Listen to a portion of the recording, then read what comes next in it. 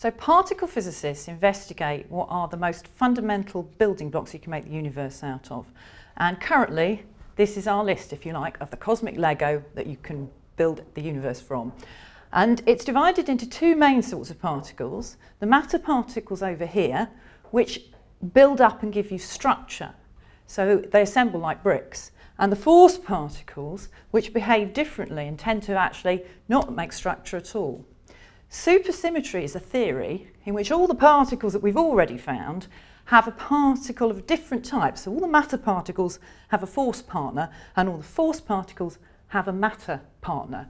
And the reason that supersymmetry is a theory that people like, or theoretical physicists like, is that when you calculate how likely a process is to happen, you have to consider all the possible ways in which it can happen.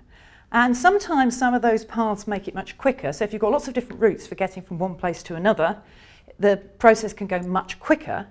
And sometimes they, the routes sort of get in each other's ways. It's a bit like roads that are crossing. Now, one of the things we need in a theory is, in fact, that some of these different paths cancel each other out. And matter particles cancel out force particles. So supersymmetry is a really nice theory where everything's got a partner.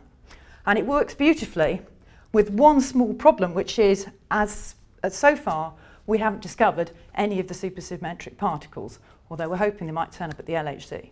But if you're an optimist, like one of my former colleagues, you say, well, actually, it's a theory in which we've already seen half the particles and we're just waiting to find the other half.